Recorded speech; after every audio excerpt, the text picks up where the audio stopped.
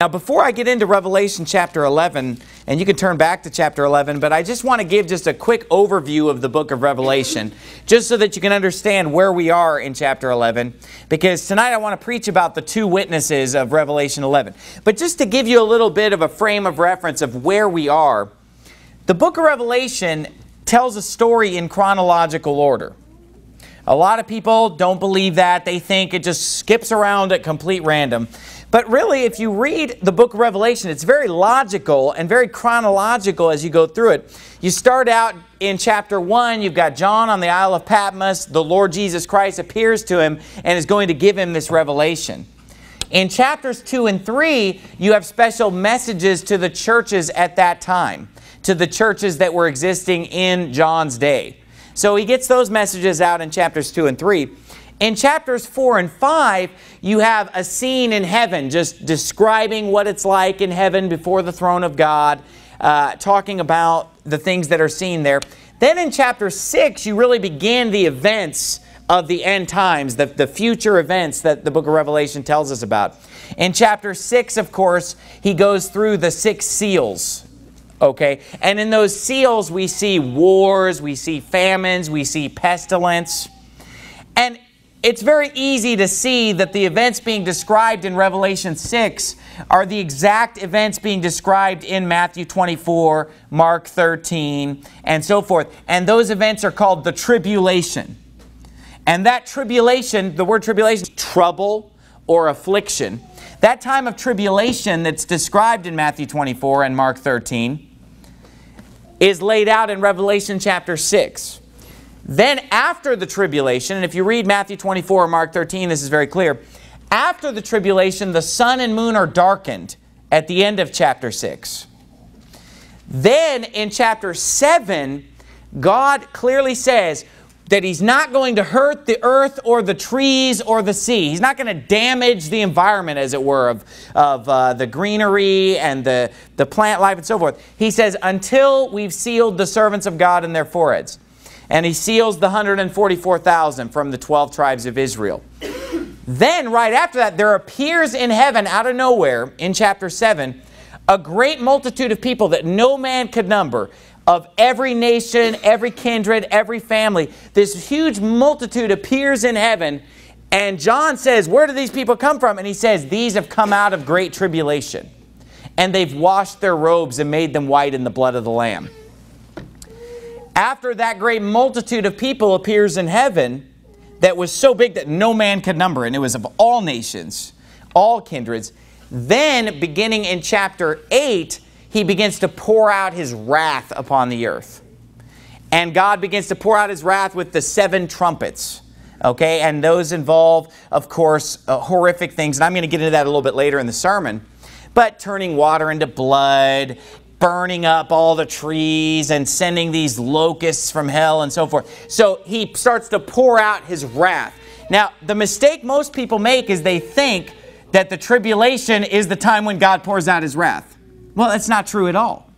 Because during the tribulation, there are wars, there are famines, there are pestilences, and there's great persecution and affliction of God's people who are being persecuted for not worshiping the Antichrist and so forth. But God doesn't pour out his wrath until after the tribulation. Then the sun and moon are darkened. Then he begins to pour out his wrath. And it's very clear at the end of chapter 6 and the beginning of chapter 7 that God has not started pouring out his wrath at all. He has not done any of these cataclysmic things to the earth. And his, the day of his wrath does not come until the end of chapter 6 after the tribulation. So God pours out his wrath in chapters 8 and 9. Then in chapter 10, we talk about the angel that's going to blow the seventh and final uh, trumpet of God's wrath. And then in chapter 11, that trumpet's going to be blown. And then at the end of chapter 11, he says, The kingdoms of this world are become the kingdoms of our Lord and of his Christ, and he shall reign forever and ever. So, so far we've been in relatively chronological order. I mean, it makes sense. It, it, lines up with everything Jesus taught in Matthew, Mark, and Luke, and John. It lines up perfectly how there's going to be a time of tribulation. Then the sun and moon are darkened. Then, of course, uh, Matthew 24 teaches Jesus Christ will come in the clouds. The trumpet will sound. And those that are uh, uh, dead in Christ, the asleep in Jesus, will be caught up into the clouds with those of us that are alive and remain. Most people call that the rapture. The Bible calls it the first resurrection. We're all going to be caught up together. That's the great multitude that appears in heaven in Matthew in uh, Revelation 7.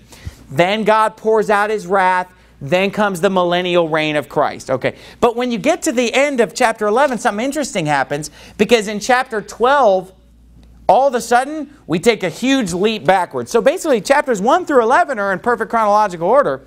Then all of a sudden in chapter 12, you're, you're at the birth of Christ. And then he basically goes through the whole chronology again.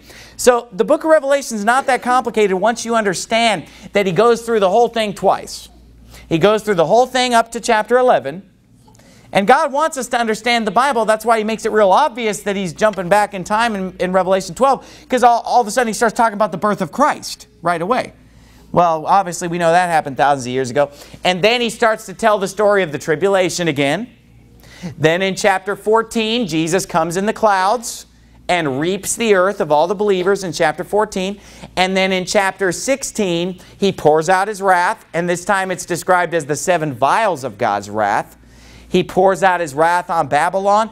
And then we have the, the, the battle of Armageddon, the millennial reign of Christ, and so forth. So that's just to give you a quick overview of the book of Revelation. Now, if you look at the seven-year period that's described in the book of Revelation, which involves first the tribulation and then the pouring out of God's wrath, there's always a natural dividing of that seven-year period into two, three and a half year periods. I mean, if you're reading the book of Revelation, you will constantly see this number coming up at you over and over again. 42 months. Or uh, it'll say three and a half years. Or it'll say 1,260 days. Or 1,290 days. You know, you'll see these numbers that are all approximately three and a half years, okay? Because there's an event that takes place at the midpoint of the week that's known as the abomination of desolation where basically that's where the Antichrist declares himself to be God, declares himself to be Jesus Christ. And that's where the very intense persecution of God's people begins. And then sh very shortly thereafter is where the rapture takes place. So roughly the first half of the seven years, and I'm not saying exactly, I'm saying roughly, a little more than three and a half years. The first half is the tribulation. And then a little bit less than three and a half years, but roughly the second half is God pouring out his wrath on this earth. Okay? And we are not here for God's wrath. We're going to be here throughout the tribulation, most definitely, but we're going to be gone during the period of God's wrath. Now, where does Revelation 11 fit into this? Are you in Revelation 11? Where does Revelation 11 fit into this? Well, according to the chronology that I gave you, I was saying that this is basically the end. This is basically the end of the seven years, the seventh trumpet, the end of God's wrath.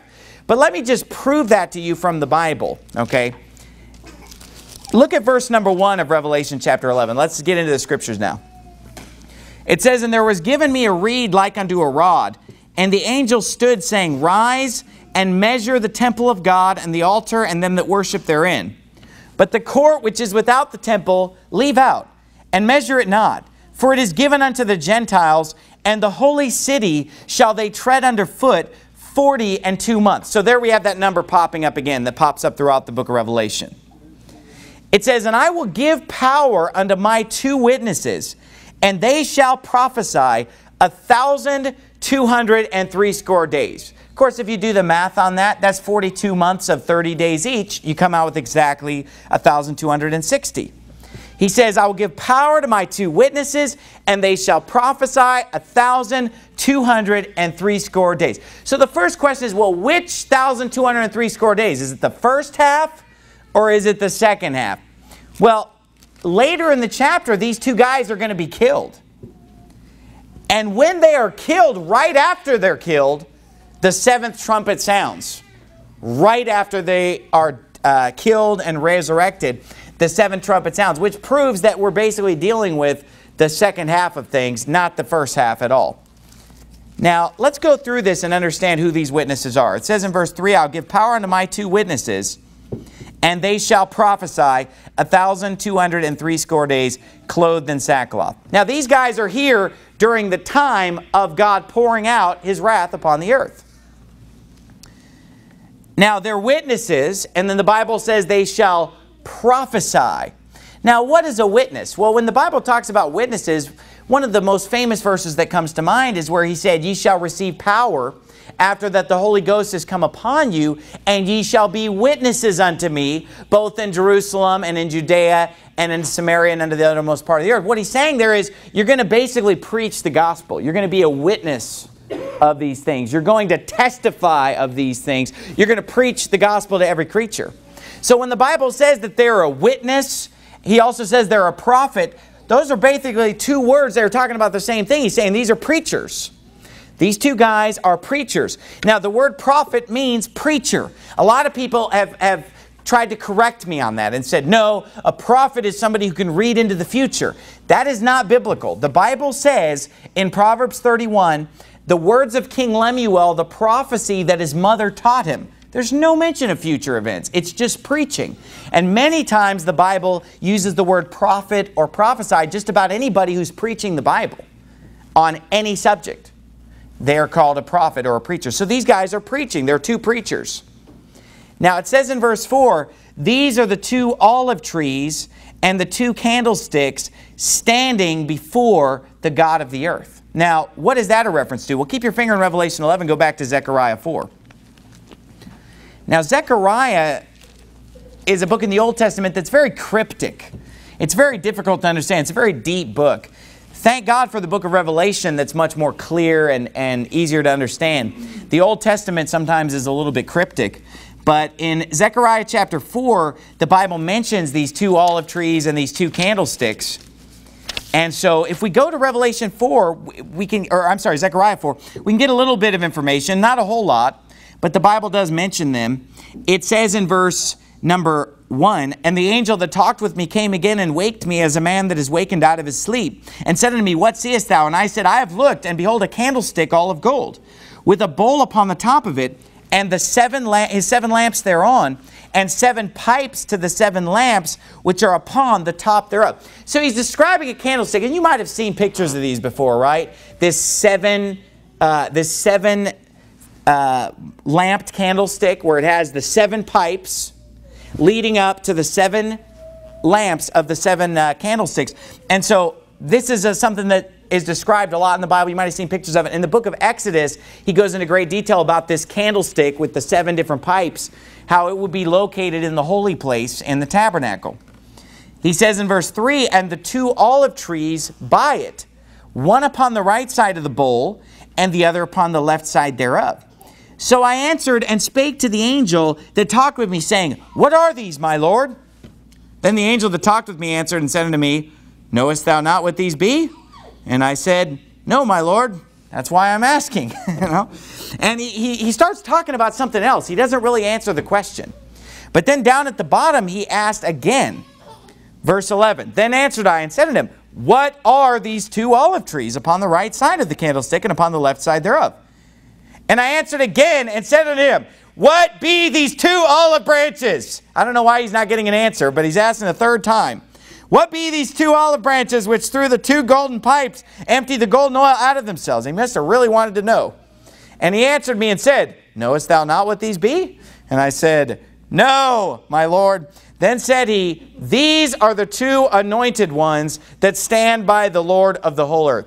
So we're not getting a whole lot of help from Zechariah chapter 4 is the first thing I take from that. But he did say these are the two anointed ones. Okay, so so far what we know about these guys, go back to Revelation 11, is that they're, they're witnesses, they're prophets, they're preachers, and he says they are anointed ones. Now that anointing clearly throughout the Bible is talking about the anointing of the Holy Spirit upon someone, someone who's filled with the Holy Ghost, someone who's preaching in the power of the Holy Ghost. The Bible calls that their anointing.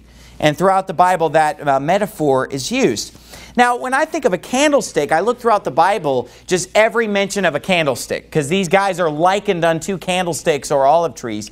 And if you look throughout the Bible at candlesticks, first of all, you have the candlestick that's in the holy place shining the light. You know, I think of the Bible saying, Thy word is a lamp to my feet and a light to my path. And I also think of Revelation chapter 1 when he said the seven candlesticks are the seven churches. And then I think of in Matthew where he says, No man having lighted a candle putteth it under a bushel, but he puts it on a candlestick, that it may give light unto all that are in the house. He said, Let your light so shine before men that they may see your good works and glorify your Father which is in heaven. But when he gives that parable in Mark and Luke about the candlestick being put up on a candle, uh, I'm sorry, the candle being put up on a candlestick as opposed to being hidden under a bushel, it's always followed by this statement For there is nothing covered that shall not be revealed, and hid that will not be known. And when Jesus preached that, he said, What I tell you in darkness, that preach ye, eh, that speak ye in the light. And what I tell you in the ear, that preachy upon the housetops. So God, throughout the Bible, likens a preacher unto a candlestick. He likens a church unto a candlestick because they are proclaiming God's word as loudly as possible from the rooftops, not trying to conceal anything, not trying to hide anything. And that's what we ought to be as a church, and that's what I ought to be as a preacher. Somebody who doesn't hide anything. We just preach everything. Amen. Now, I don't know about you, but I hate it when I'm listening to preaching and I feel like the preacher, he knows something or he believes something and he holds back. See, he's putting the candlestick under a bushel is what he's doing. There are certain parts of the Bible that are considered inconvenient or unpopular. And so a lot of times preachers will put the bushel over that part of the Bible and, oh, let's not talk about that chapter, or let's not use that word that's a Bible word, or let's not go into that subject because we're afraid we're going to offend people. You know, biblical preaching, what God calls every prophet to do and every witness to do is to take the bushel off and to put it up on a candlestick and say, Thus saith the Lord, and to preach the whole counsel of God from Genesis to Revelation and just shine it as far as it'll shine. You say, why do you, well, somebody said, you know, why do you put your, your preaching on the internet? And then it's, you know, it's, it's going out there, so many people, you're going to get persecuted for that. But I'm just trying to just shine the light as far as it'll shine. Amen.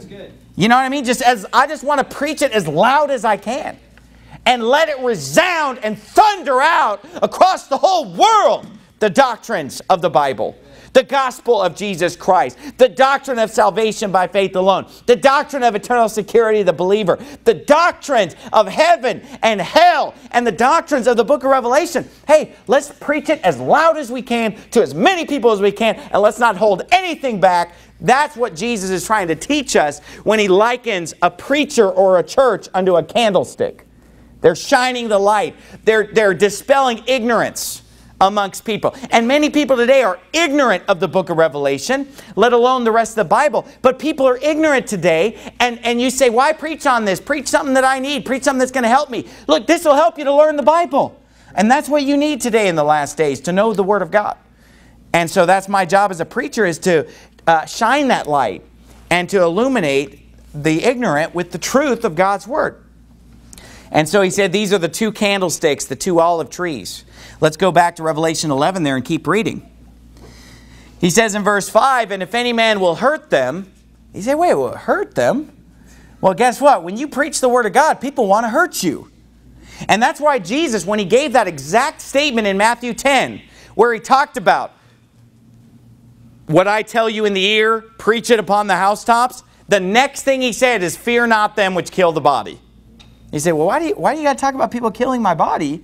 You know, you just told me to preach the word of God, and then you tell me somebody's going to want to kill my... He says, fear not them which kill the body, but are not able to kill the soul. Rather fear him which is able to destroy both soul and body in hell. Fear God only, don't fear man.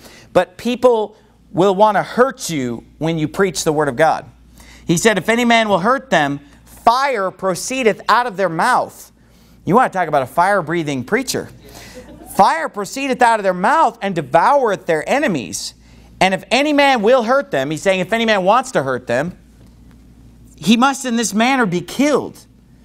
These have power to shut heaven that it rain not in the days of their prophecy, and have power over waters to turn them to blood, and to smite the earth with all plagues as often as they will.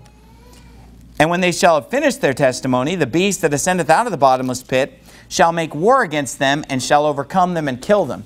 So, these two guys are men that God's going to send to this earth, these witnesses, these two prophets. He's going to send them to, upon this earth and again, this is in the latter half. This is while God's pouring out his wrath. This is after the believers have already been caught up in the clouds and, and taken away uh, to be with the Lord in heaven.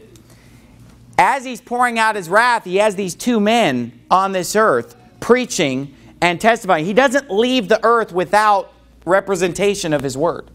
So these two men are sent while God's pouring out his wrath to preach the word of God upon this earth. People don't want to hear it. They're angry about it.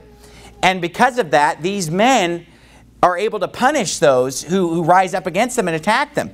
They're able to uh, bring down these plagues of God's wrath upon the people that are on the earth at that time. Now, a lot of people have, have questioned, you know, who are these guys? Now, it's possible that these two guys are just two guys that we don't know their name and we have no idea who they are. They're just two men that God's going to send for this specific purpose. But what's interesting about these two men is that they can be killed because at the end of the 1,203 score days that they preach upon this earth, and they're preaching every day, the Bible says they're going to be killed. So doesn't that tell us that this is mortal man that we're dealing with? This is mortal man that can be killed. So these are human beings. Even though they're given power to perform miracles, they are men because they can be killed. Now, some have said these are just two guys and they're just guys, we don't know their name, we don't know who they are, they're just two guys that God is going to use in this way. Now, others have said this is Moses and Elijah come back, basically, to life to, to, to preach and to be used in this way. And then there are others who have said Elijah and Enoch or made other speculations about this. Now, if you would go to Matthew chapter 16. Now, I, if you ask what I believe about it, and I usually like to spend the most time preaching on what I know for sure. And when I come to something that I don't know for sure, I usually just try to stay away from it and just preach the part that I know for sure is true. But on this one, I would tend to agree with people who would say that this is Moses and Elijah. Now, the reason that I believe that it probably is Moses and Elijah is primarily because of what I'm going to show you in Matthew 16 and 17. But there's a lot of other evidence too that would lead you to believe that. Look at Matthew 16, 28. The Bible says, Verily I say unto you, there be some standing here which shall not taste of death till they see the Son of Man coming in his kingdom. Now, some people at the time, I'm sure, misinterpreted that, that Jesus is saying that, the, that his second coming is going to happen in their lifetime. Because isn't that what it sounds like? When he says some of you, it seems to indicate like, well, you know what? A lot of you that are older, you're going to be dead when this happens. But some of you that are here, some of you young guys, you won't even taste of death till you see the Son of Man coming in his glory. But that's not what he, coming in his kingdom. But that's not what he meant. Because if we get it in context, look at the next verse. He says there be some of you. So is he saying all of you? He says some of you that are standing here. Some people will not taste death till they see the Son of Man coming in his kingdom. Look at verse 1 of chapter 17. And after six days, Jesus taketh Peter, James, and John his brother, and bringeth them up into an high mountain apart, and was transfigured before them. And his face did shine as the sun, and his raiment was white as the light. Now, when Jesus Christ comes in his kingdom, when he comes in his glory, the Bible is very clear to describe him in this exact way. His face shining as the sun, his raiment as white as the light and this blinding image of Jesus Christ in his glorified form. So when Jesus said, there be some of you standing here that shall not taste of death till they see, he's talking about this sneak preview that he's showing them in the mount where he shows them what he is going to be like in his second coming when he's when he's shining in brightness and glory and power unlike they've ever seen him before i mean they've always seen jesus up to this point as mortal man but what's interesting is that when they are shown this image of Jesus Christ coming in his kingdom and in his glory, look who's with him. in Matthew 17, verse 3. And behold, there appeared unto them Moses and Elias talking with them. Then answered Peter and said unto Jesus, Lord, it's good for us to be here. If thou wilt, let us make here three tabernacles, one for thee, and one for Moses, and one for Elias. Now this is recorded in Matthew, Mark, and Luke, and in, in, in another place it says he said this because he didn't know what he was saying. He just kind of said this because he just didn't know what else to say. And it says in verse 5, While he yet spake, behold, a bright cloud overshadowed them, and behold, a voice out of the cloud which said, This is my beloved Son, in whom I'm well pleased, hear ye him. And when the disciples heard it, they fell on their face and were sore afraid. So the association here with Moses and Elijah and Jesus Christ's second coming is interesting, right? Because he says, hey, there's some of you that are not going to taste death till you see the Son of Man coming in this kingdom. And then we see Jesus show up, glorified, bright as white, transfigured, and who's he got with them? Two guys, Moses and Elijah. So that makes sense. Now here's the other reason why it's very possible that these two guys are Moses and Elijah. They did a lot of similar miracles. Go to 2 Kings chapter 1. 2 Kings chapter 1. If you remember, Moses in the Old Testament was the man that God used to perform the miracle of turning water into blood in Exodus. And you remember how Elijah was the one who prayed earnestly that it might not rain, and it rained not on the earth for how long? By the space of three years and six months.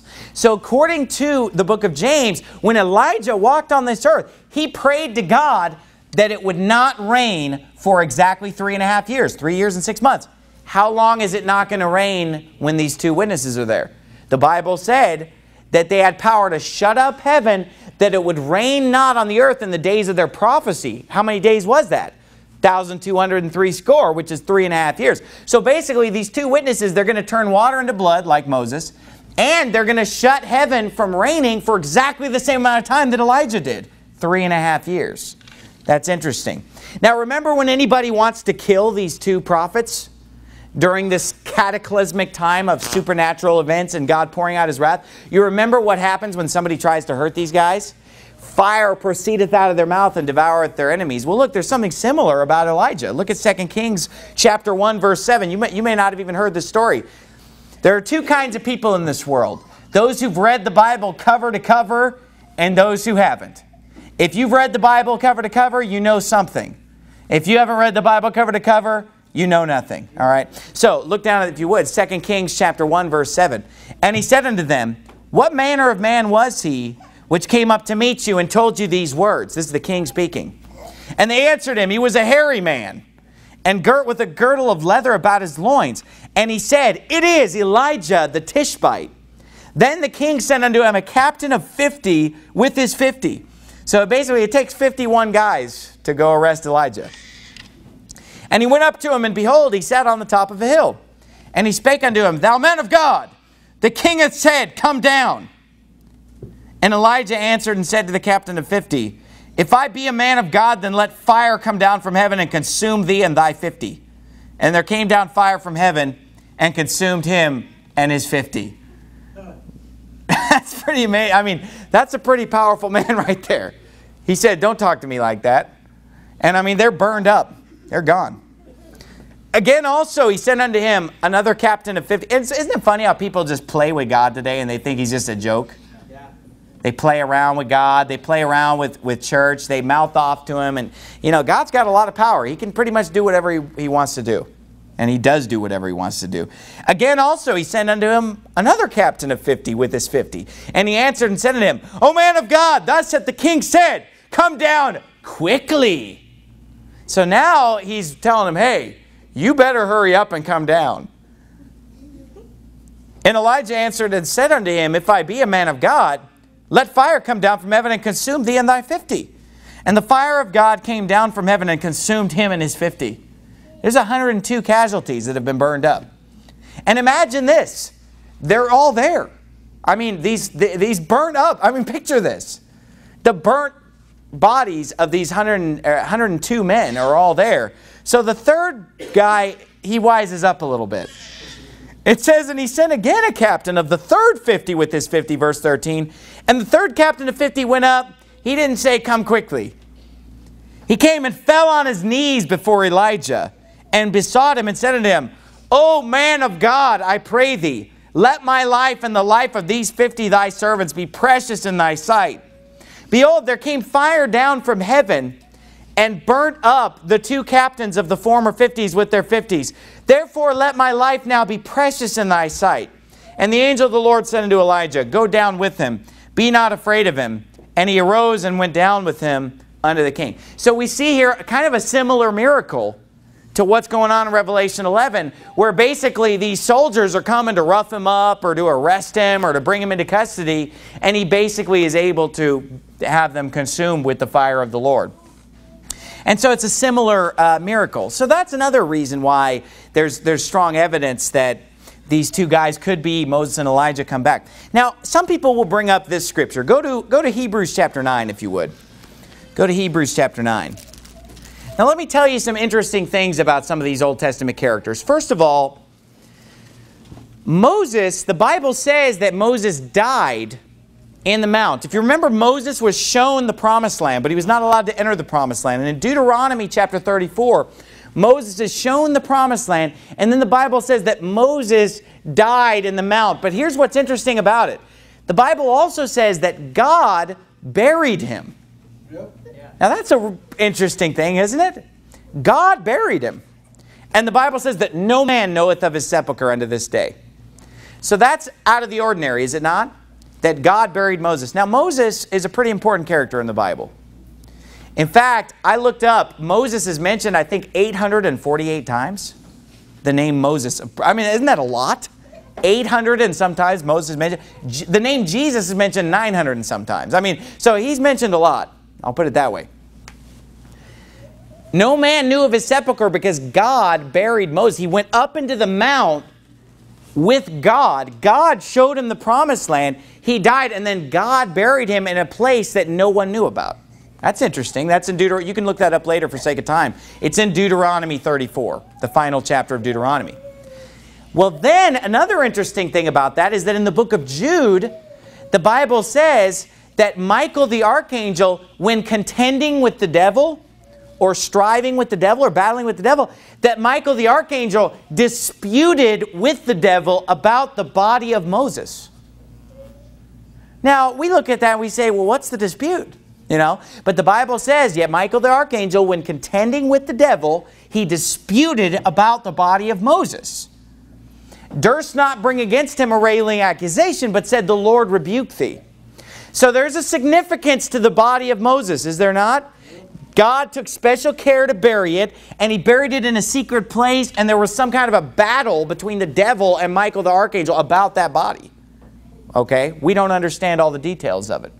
So that's kind of a, a, little bit of evidence also that maybe there's something in store for Moses, some kind of a role in the end times that he would be one of these two witnesses. Now, the other thing about Elijah, how did Elijah die? Well, the Bible never even flat out says Elijah died. Elijah is with his protege Elisha, and the Bible just says that God told him that his master was going to be taken from his head this day. And if you remember, God sends a fiery chariot to swoop down and pick up Elijah, and Elijah is caught up to heaven in a whirlwind in a fiery chariot in the sight of many witnesses. And so that's an interesting fact about Elijah. Now, the reason that people throw Enoch into the mix, you know, some people throw in Enoch as a possible candidate for these two witnesses. And you say, why are you spending so much time on this if it's all speculation? Because we're just learning the Bible. We're learning about Deuteronomy. We're learning about Second Kings. We're learning about a lot of stuff that you need to learn about. And, you know, you know, if you read the Bible, you'll see these things. Well, the thing about Enoch is that the... Are you in Hebrews 11? Just, or Hebrews 9? Just jump forward to Hebrews 11. It's just one page over. Look at Hebrews 11, verse 5. The Bible says, by faith, Enoch was translated that he should not see death and was not found because God had translated him. For before his translation, he had this testimony that he pleased God. So the Bible is clear that Enoch did not die, but that Enoch was taken directly up to heaven without dying. sort of like Elijah was. Now, some people Go, go back to Hebrews 9 now, verse 27. Some people will point to this, and I'm going to show you why there's a little bit of a flaw in their thinking. In Hebrews 9 27, the Bible says, And as it is appointed unto men once to die, but after this the judgment. Some people will take this verse, Hebrews 9 27, take it totally out of context, and just say, See, everybody has to die once. Now, that's not what that teaches, and I'm going to I'm going to give you the context and explain to you what that verse does teach. And here's what I've heard people say. It has to be Enoch and Elijah because they didn't die and they have to come back just so they can die. Because everybody's got to die at least once. Because it's appointed unto men once to die. Have you ever, has anybody ever heard that one? Yeah, I've heard it many times. And that doctrine is, is out there. Now, here's the thing about that. They're misunderstanding this passage. Let me give you some reasons why. First of all, not everybody's going to die. Because the Bible very clearly says in 1 Corinthians 15, we shall not all sleep, but we shall all be changed. In a moment, in the twinkling of an eye, the trump shall sound, and the dead shall be raised up incorruptible. But wait a minute, we that are alive and remain will be caught up together with them in the clouds. I mean, think about it. There, there could be people here today that will never even die physically. Because if we make it, if we endure unto the end of the tribulation, and, and when Jesus Christ comes in the clouds and the trumpet sounds, the Bible says we shall not all sleep. We will not be asleep in Jesus. And that's what the Bible calls the dead in Christ. He calls them asleep in Jesus. Our bodies will not sleep in the dust of the earth, as it says in Daniel 12. Many of us could be living in the generation, and if we can handle all that persecution and not be beheaded and not be killed, you know, we may be the ones that are caught up in the clouds. Wouldn't that be exciting? Wouldn't that be cool? I don't want to die. Who wants to go through that, you know? There's just no good way to do it. You know what I mean? I'd rather just I'd rather just look up and see Jesus Christ coming in the clouds right after the sun and moon are darkened, and to see him light up the sky with his glory, and, and to be blinded by the sight of Jesus Christ shining in all of his glory, and to just be caught up in a moment. That's how I want to go. Forget a car wreck, forget cancer. You know, I want to I want to hang out until that moment. And who knows, I might be the first one to go, you know, before that, I don't know, you know. Hopefully I make it to the end. That's my goal. So that doctrine kind of goes out the window, doesn't it, about how everybody's got to die once because there are going to be multitudes of people who never die, who are caught up. But not only that, there are many people in the Bible who died twice. So this kind of goes out the window again. Think about a guy like Lazarus. I mean, Lazarus died and he was dead for four days. Jesus Christ raised Lazarus from the dead. And when Jesus raised him from the dead, he was back to life. But guess what? Eventually he died again. And this time, you know, they waited a little longer before they buried him, but he was dead. I mean, so Lazarus was a guy who died twice. There are a lot of other people that died, and you know, Eli Elijah, uh, I'm sorry, Elisha raised a dead body back to life again in the Bible. There was a guy who was thrown on the bones of Elisha. He came back to life again. Remember when Jesus went into the town of Nain and there was a funeral of a woman's only son that had died? Jesus walked up and touched the coffin and the guy sat up in the coffin and came back to life. I mean, that, those, you know, but they didn't live forever. They were brought back to life, but they didn't live forever. They died a second time. So this doctrine that, well, everybody's going to die once, that doesn't hold up. Look what Jesus is, or look what the Bible is actually saying. Let's get the context. Look at Hebrews 9.25. This is about Jesus. And it says this, Nor yet that he should offer himself often, as the high priest entereth into the holy place every year with blood of others. So he's talking about in the Old Testament, every year the high priest brings the blood of goats and calves and brings the blood of the lamb. He's saying they offer these sacrifices uh, every year with blood of others. He said, if Jesus was like that, he says in verse 26, for then must he often have suffered since the foundation of the world. But now once in the end of the world hath he appeared to put away sin by the sacrifice of himself. And look at the word and. So this is connected with what he just said. And as it is appointed unto man once to die, but after this the judgment, so Christ was once offered to bear the sins of many. And unto them that look for him shall he appear the second time without sin unto salvation. So what the Bible is saying here is that it's appointed unto men once to die. Why? Because the wages of sin is death. That's why. So we have to die once to pay for our sins. And of course, if we die in our sins, we go to hell and stay there for all of eternity. You know, eventually we'll be moved to the lake of fire. So the Bible is telling us here that just as we, because of our sins, are appointed once to die and after this the judgment, he said, so Christ was once offered. He's saying, Jesus died for us one time to pay the price for our sins. Just as we would have to die once, if we die in our sins and be punished and be judged for our sins. Jesus Christ did that for us. So this isn't saying that everybody has to die. This is saying that Jesus died for us so that we don't have to die. And thank God, if we do die physically, O death, where is thy sting? And O grave, where is thy victory? Amen. Because even if we die physically, it's just a departure to be with Christ in heaven. And so Jesus died precisely so that we would not have to die. So to take this scripture and turn it around, you must die at least once, it doesn't really make any sense because it's kind of the opposite of what this is teaching because this is teaching, hey, Jesus did that for you.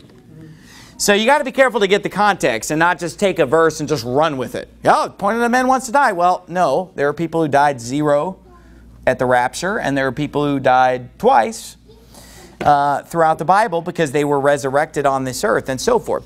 So that's that. Let's go back to Revelation 11. So I don't really, I don't really see any evidence that it's Enoch. I don't see any kind of a tie-in. I think that he is just symbolic of the rapture because he's basically caught up without dying. That's a precursor or a foreshadowing of the fact that many of us will also never die and be caught up. I believe that it's probably going to be Moses and Elijah because there's just so much correlation between Moses and Elijah and the end times. Jesus coming in his glory. He's got Moses and Elijah with him. The miracles are the same. The style is the same. Not only that, but the Bible says in Malachi chapter 4, he says, Behold, I will send you Elijah the prophet before the coming of the great and dreadful day of the Lord. Now, Obviously, we know that Jesus, while he was on this earth, he pointed to John the Baptist and said, This is Elijah the prophet. And he said that uh, Elijah is already come. And he talked about, because he said, you know, why do they say that, that uh, Elijah has to come first? He said, well, Elijah's already come. And he pointed to John the Baptist. And they understood that he spake of John the Baptist. But here's the thing, though. We know that the great and dreadful day of the Lord is the day when the sun and moon are darkened. And if you don't know that, you must not read the Bible at all. Because, I mean, there's a lot of scripture, Old Testament and New, that say that the day of the Lord is a day when the sun and moon will be darkened. Very important, significant event in scripture. Brother Dave preached about on the campus, showed all the different scriptures and so forth that deal with that. And so, the day of the Lord being there, and if you look at the timing when these two prophets would come on the scene, basically, if they're going to be preaching for 1,260 days, they're basically showing up just in time for before the day of the Lord. Okay? And so that's a perfect timing. So, you know, obviously we know John the Baptist fulfilled that. But if John the Baptist was Elijah showing up before the first coming, it would make sense that another Elijah shows up right before the second coming. And what in the world is all that talk about Moses' body and what it needs to be, how it needs to be handled, and the fact that Elijah was caught up uh, with a chariot of fire into heaven? These are all things that point to that. But let's hurry up and get through this. I don't want to spend too much time on that. I just wanted to give you the different sides of that uh, whole discussion. But the Bible says after three and a half years of preaching, after three and a half years of defending themselves by just basically consuming their enemies with the fire of the Lord, it says that they will finally, at the end of that three and a half years, be overcome and killed. Obviously, in God's timing. Obviously, if God's kept them alive for three and a half years, He probably could have kept them alive longer. He allows them to die. That's part of His plan. And it says in verse 8, Their dead bodies shall lie in the street of the great city, which spiritually is called Sodom and Egypt, where also our Lord was crucified. Now, what city is that referring to? Think about this. What, where was Jesus crucified? Jerusalem. And he said it's necessary that a prophet would, would perish in Jerusalem. Jesus died in Jerusalem, right outside the gate of Jerusalem. And so this city that's spiritually called Sodom and Egypt, that's the spiritual condition of Jerusalem today, by the way. Yeah. Sodom and Egypt. They don't believe on Christ over there. They reject the Lord Jesus Christ. People say, I'm going to go tour the holy city, the holy land. Well, you know what? Honestly, I mean, you know, God did choose that city and he's going to use it once again to rule from and to reign from during the millennium. But I'll tell you something right now, it's a spiritual Sodom over there and it's a spiritual Egypt. Amen. Because if you don't believe in the Son of God, he said, you don't have the Father. But he that acknowledgeth the Son hath the Father also. Look at verse 9. And they of the people and kindreds and tongues and nations. Not just the people in Jerusalem, is it? He's saying everybody in the world. He said, shall see their dead bodies three days and a half, and shall not suffer or allow their dead bodies to be put in graves. Now, this right there would have been it would have been hard to understand a few hundred years ago, right? Wouldn't you have looked at that and said, well, if their body's laying in the street, how does everybody in the whole world of every language, every tongue, every tribe see those bodies? What are they all going to tour and parade through? It doesn't make any sense, does it? Okay, how about with the invention of TV? How about with the invention of the internet? How about with the invention of satellites? This will be easily fulfilled. So you know what? I think sometimes we run into things in the Bible and we say, oh, that can't be true. That doesn't make any sense. But wait a minute, it's just because we don't get it. We don't understand. And I think the closer we get to the end times, the easier this stuff is to understand. Because a couple hundred years ago, people were like, what does that mean? I don't and, and somebody might have really struggled with this. I'll bet you there have been people throughout history that, that, that this might have tested their faith and they said, God, I know the Bible's true, but I mean, I believe it, but how can everybody see this? It just, you know, maybe all just doesn't mean all, you know. Some Calvinists probably, you know, taught, taught them that. But honestly, with the internet, with TV, worldwide they can be seen by every tribe and every kindred because it can be projected onto the you know the webcam. There'll be a webcam you know pointed on their dead bodies. And they're saying they won't even bury them they don't even want to do the honor of burying them because they hated these men. Keep reading. When they see their dead bodies they're not going to allow them to be put in graves. They're just going to leave them laying in the streets dead. And it says and they shall rejoice or they that dwell upon the earth shall rejoice over them and make merry and shall send gifts one to another. I mean, this is like Christmas for them. I mean, instead of buying a Christmas present, it's like, hey, let's celebrate those two guys, those two preachers of God's word that are left on this earth that are smiting us with these plagues and, and so forth. He said, you know, let's rejoice, let's throw a party. They're dead, and let's just enjoy watching the, the, the body and just, just rejoice in it. This is a pretty hateful thing to do, don't you think? And it says, because these two prophets tormented them that dwelled on the earth. And after three days and a half, the spirit of life from God entered into them, and they stood upon their feet. And great fear fell upon them which saw them. So at this point, a lot of people have changed the channel, you know, three and a half days later. But those that saw them and those that were physically there with them, yeah, they're affrighted when they see these two dead bodies come back to life. And it says they stood upon their feet. And great fear fell upon them which saw them. Verse 12, And they heard a great voice from heaven saying unto them, Come up hither. And they ascended up to heaven in a cloud, and their enemies beheld them. And the same hour was there a great earthquake, and the tenth part of the city fell. And in the earthquake were slain of men 7,000, and the remnant were affrighted and gave glory to the God of heaven. Now here's a key verse in verse 14. The second woe is past, and behold, the third woe cometh quickly. I'll talk about that in a second. And the seventh angel sounded, and there were great voices in heaven saying, The kingdoms of this world are become the kingdoms of our Lord and of his Christ, and he shall reign forever and ever. So this is why I'm saying clearly that these two guys' ministry is definitely in the second half of the, of the week, of the seven-year period. Because as soon as they are caught up, he says, the second woe is over. And behold, the third woe cometh quickly. And then boom, the seventh trumpet sounds. Now, look if you would at Revelation 10. Just go back a few pages. What you have to understand about the sounding of the seventh trumpet, it's a very significant event Because the Bible says in verse 6 of chapter 10, and swear by him that liveth forever and ever, who created heaven and the things that therein are, and the earth and the things that therein are, and the sea and the things which are therein, that there should be time no longer.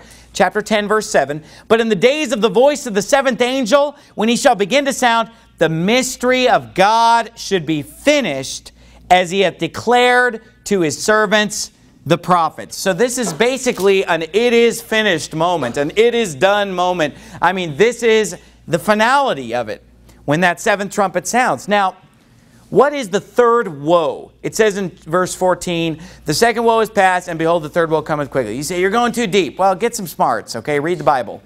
But anyway, what is the third woe? Well, just to back up a little bit, I'll just quickly explain it to you. In Revelation chapter 8, when God starts pouring out his wrath with, these, with the seven trumpets, chapter 8 gives us the first four trumpets that sound. And if you remember when the first trumpet sounds, God uh, smites the earth, there's fire and brimstone and hail and so forth. When he gets to the second trumpet, he uh, smites the sea and turns the seas into blood and turns them into bitterness and so forth. When he smites with the third trumpet, he, he smites the fresh water supply, and a third of it becomes bitter and wormwood and so forth. When the fourth trumpet uh, sounds, he smites the sun, and the sun is scorching men with heat. It's blacked out for a third part of the day and a third part of the night, the heavenly bodies. So God's pouring out some serious wrath in chapter 8. I mean, he's damaging the salt water. He's damaged the fresh water. He's damaged the grass and the trees that are all burned up. He's messing with the sun and moon. But wait a minute. He gets to the end of it and he says, whoa, whoa, whoa. He gives three woes. Woe, woe, woe unto the inhabitants of the earth and the sea. He said, by reason of the three voices of the trumpets of the angels which are yet to sound. He basically is saying, you think this is bad? You think these four trumpets were bad? He said, these are nothing. Wait till you get the other three trumpets. So the three woes are the three final trumpets. Okay. Now, the fifth trumpet was when God sent those horrible locusts that would, would, that would sting a man, and their sting is like the sting of a scorpion when he striketh a man. Who's ever been stung by a scorpion? Anybody been stung by a scorpion? Uh, you know, one that's an Arizona. Are you an Arizona native? That's why he's been stung by a scorpion. Everybody else moved here, and so we didn't get stung by scorpions yet. But I've had scorpions in my house many, way too many times, and I shouldn't even be bringing that up because it's not a very happy subject with my wife. But when we find scorpions in the house, it's not a fun thing. Thank God we haven't been struck by them yet. But I've talked to people who've been struck by them. It's a serious wound, and sometimes people can have a very serious reaction. God's going to send these horrible locusts from hell that sting people like scorpions. Then, with the sixth trumpet, he sends this army of, of 200 million of these uh, horsemen that are breathing fire, that are, that are, people are dying of smoke inhalation, people are being burned up. I mean, it's just a horrific hell on earth type scene with both the fifth and sixth trumpet. That's the first and second woe. Well, when we get to the very end of these guys' testimony, okay, he says the second woe is past and the third woe cometh quickly. So what's the third woe? It must be something really bad, right? Yep. Because it's worse than the stuff that happened in those first four trumpets. It's something really bad because it's comparable to those demon locust from hell. It's comparable to that army of horsemen that's described in Revelation 9, breathing fire and smoke and so forth. Let's see what it is. It says in verse 15, And the seventh angel sounded, and there were great voices in heaven saying, The kingdoms of this world are become the kingdoms of our Lord and of his Christ, and he shall reign forever and ever. And the four and twenty elders which sat before God in their seats fell upon their faces and worshipped God, saying, We give thee thanks, O Lord God Almighty, which art and wast and art to come, because thou hast taken to thee thy great power and hast reigned, and the nations were angry, and thy wrath is come, and the time of the dead, that they should be judged, and that thou shouldest give reward unto thy servants the prophets, and to the saints, and them that fear thy name, small and great, and shouldest destroy them which destroy the earth. Now, so far, we haven't really seen anything bad happening, have we, in those verses? He doesn't really describe anything bad. He says that the time has come that he's going to destroy them that destroy the earth, so there's some kind of destruction. Now in verse 19 it says this, And the temple of God was opened in heaven, and there was seen in his temple the ark of his testament, and there were lightnings and voices and thunderings and an earthquake and great hail. Now, it's easy to kind of read over that and to basically be kind of looking for the third woe. I mean, I don't know if you've ever thought that. When I read this, the first few times I read it, I kind of scratched my head like, okay, where's the third woe? You know, because you're looking for something big that's really just going to destroy. Because you saw, I mean, you saw the fifth trumpet, you saw the sixth trumpet. It's like, this is the big one. This is the third woe. Woe unto them if they are to this point. And you're kind of wondering, like, what is it? But then, of course, we go to chapter 12, and all of a sudden we're back at the birth of Christ, and we start the whole thing over. Start over the whole tribulation, the whole thing over. Well, let's compare this with the seventh vial. Okay, go to go to uh, Revelation 16. You see, if you understand that the book of Revelation is going in chronological order up to verse 11, then starts over in chapter 12 and goes through everything again from a different angle. You say, why would he tell the story twice? Well, why did he tell us the four gospels? I mean, couldn't he have just consolidated it all into one gospel? But instead, he gave us Matthew, Mark, Luke, and John to give us four angles. Why did he give us the book of the Kings and the book of the Chronicles? And he gives us two, because it, you can learn more by comparing the two. Just like you can compare the first half of Revelation, and it's really easy because it just splits right down the middle. You can compare the first half of Revelation with the second half and see these events playing out. See, if you just read the first half, you're kind of scratching your head. Where's the big woe? Now the woe was mentioned, you just you just missed it. Because he said that there were lightnings and voices and thunderings and an earthquake and great hail. Now, he's not going into great detail, but is an earthquake something that you want to happen? And is great hail pleasant? No. So the third woe that's mentioned is basically a great earthquake and great hail. Now, we don't get as much detail on it when we're in Revelation 11, but in Revelation 16, God gives a little more detail. Because look at verse 17. The seventh angel poured out his vial into the air. And there came a great voice out of the temple of heaven from the throne saying, It is done. Isn't that similar to what was said about the seventh angel in Revelation 10? It is done. There shall be time no longer. And there were voices, does this sound familiar? Thunders and lightnings and there was a great earthquake. Now, same thing as in Revelation 11, but here there's a little more detail. There was a great earthquake, such as was not since men were upon the earth, so mighty an earthquake and so great. Now, the reason that's significant is because there have been some serious earthquakes on this earth. And in the book of Revelation, before this point, there were serious earthquakes. This must be one major earthquake. Now, what you say, what's so bad about an earthquake? Well, earthquakes carry so much other destruction with them. Remember the earthquake in Japan that brought the tsunami? And of course, Luke talks about a tsunami in Luke chapter 21. But remember the tsunami that floods and destroys? I mean, just the, the collapsing of buildings, the carnage of, a, of an earthquake unlike anybody's ever seen. And what about this? Remember Fukushima? Remember all that radioactive material that was stored at Fukushima? When that earthquake and that tsunami came through, it unleashed all this toxic radioactive garbage into the air and surrounding Fukushima power plant. Now, let me tell you something. There are power plants like that all over the world. It's not just Fukushima. That one got hit by a tidal wave. But there are power plants like Fukushima. There's one in Phoenix. I mean, there are nuclear power plants all over the world. And when they have this radioactive material and nuclear waste, you, you can't just throw it in the trash. You don't just throw it in a landfill. You don't just throw it in the recycle bin. Some of this stuff takes a thousand years to decay. And they just have to keep storing it all the time. They have to store it and they have to keep cooling it all the time, keeping it cool. And that's what happened at Fukushima. They couldn't keep it cool anymore. And it got exposed and it got released, and then there was an explosion that threw it up into the atmosphere. Imagine Fukushima just happening all over the world. I mean, imagine the carnage of this earthquake. Power plants are exploding, tidal waves are releasing radioactive garbage. I mean, that's pretty bad right there. It must be bad if he's putting it on par with the other two woes, but it doesn't stop there.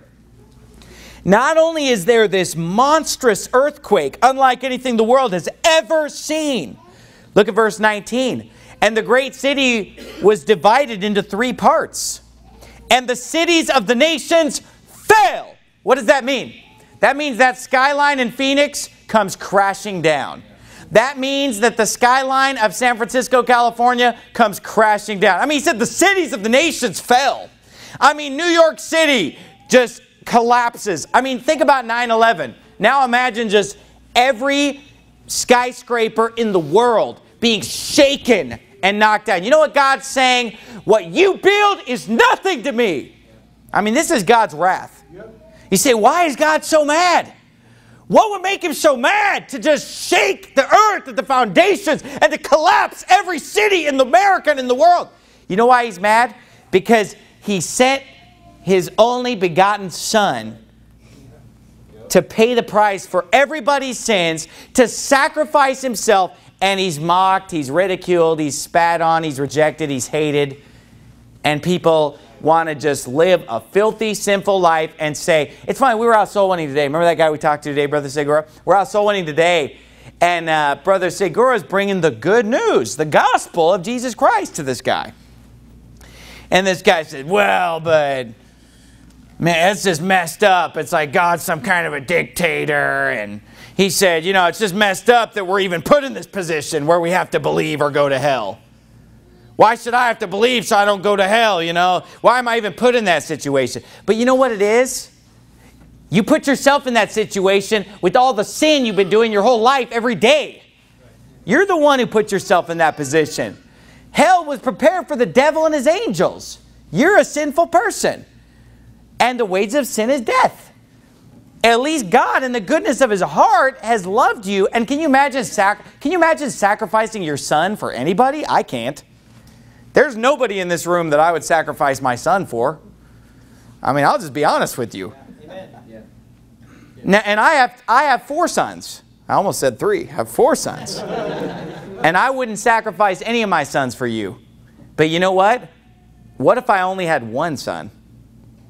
You know, that, then it would even be a, a major sacrifice. And, and look, you say, well, he's God, this, that. But you know what? That's what he used to show us his love. He said it's as if, it's as the love a man would have for his only begotten son. He said Jesus Christ, the only begotten son, was, was sacrificed. Okay, that's what the Bible is, is, is teaching is the good news that Jesus paid it all. But people don't take it as good news. They get mad about it. No, I just want to sin and live a filthy life and have no consequences. You know, and it makes God mad. You say, well, I don't understand. Well, if you don't understand, I mean, that's your problem, but it makes God mad.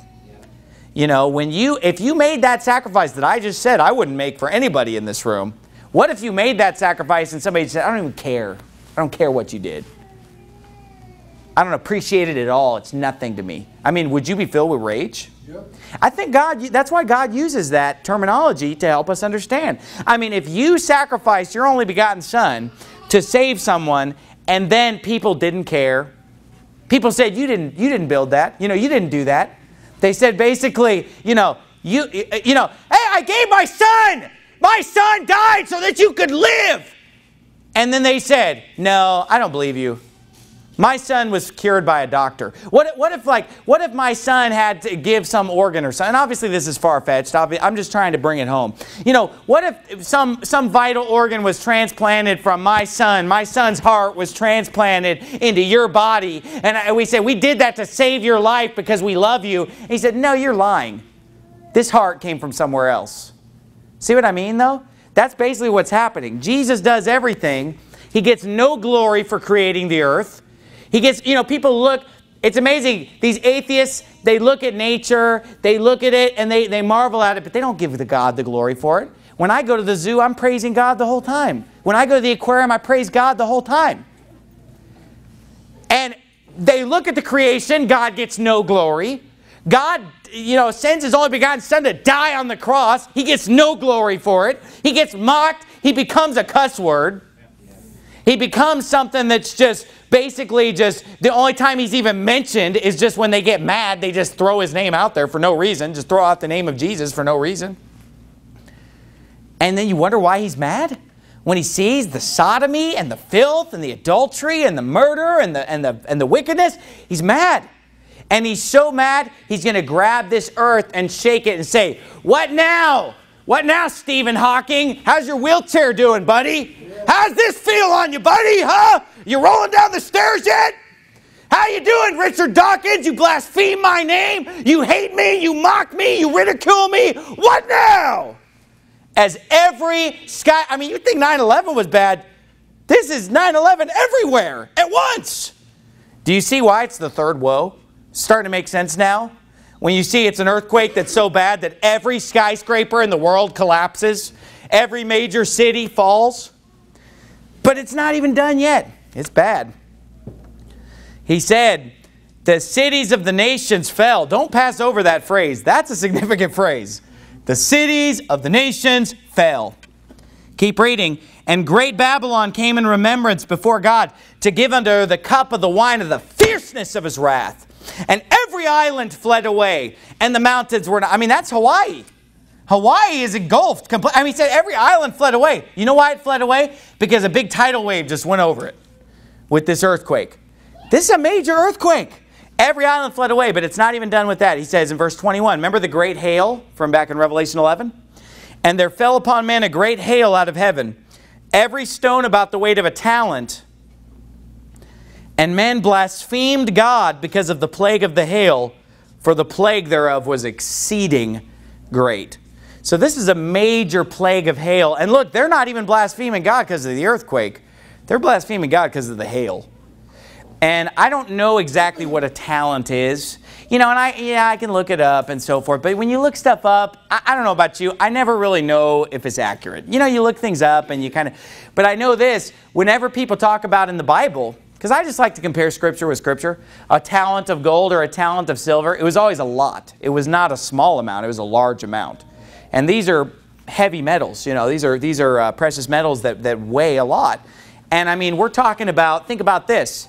We're talking about a hailstone that comes down on you like a brick. I mean, it comes down on you like a piece of lead. I mean, it weighs a lot. Whatever it weighs, and I'm sure somebody could tell, but you know, could tell me what it means. You know, it's exactly this point, this many pounds.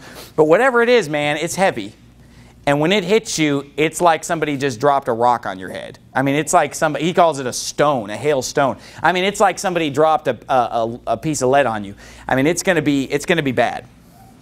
Thank God for salvation. You know, thank God we're not going to have to face this. Amen. Whoa. I mean, don't you just, the only word that you can say is just, whoa. you know what I mean? When you read it, you're like, what does that word mean? Well, just Woe, woe, woe be unto you if this is where you are when this happens. And so is God a loving God? Yes, but you know what? A lot of people don't preach this sermon. God's a loving God, but wait a minute, He's a God of wrath and judgment. And this, this chapter, it ought to convince you of that. And so let's bow our heads and have a word of prayer. Father, we thank you so much for your word, dear God, and, and uh, please help us to study and to learn it. And uh, there are things in the Bible you even flat out told us in 2 Peter chapter 3 that there are things in the Bible that are hard to be understood. And Father, help us not to run away from those things. Help us to keep studying and keep reading and trying to understand them the best that we can. Help us to put into practice the things that we do understand and to believe the things we do understand. And the things we don't understand, help us to keep praying and keep reading and keep coming to church and keep learning more. Maybe there were some people here tonight that were new to this subject. Maybe a lot of it went over their head, but I guarantee you they learned something. And then others may be here that have really studied and read and, and, and spent time meditating on this. They probably learned the most because they understood these things. Father, please just help us to study and to learn and to grow and to not blow off parts of the Bible and say that they're not important. If the book of Revelation were not important, you would not have given it to us. And so thank you for your word, and thank you for the blessing of hearing these words. And in Jesus' name we pray.